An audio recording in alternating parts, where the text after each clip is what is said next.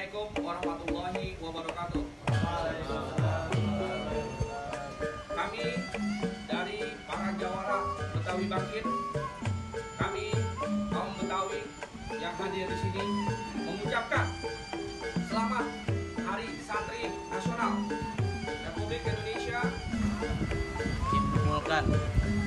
Selaku Rois Surya Cabang NU Jakarta Timur dan pengasuh Pondok Pesantren Nur Iban Lubang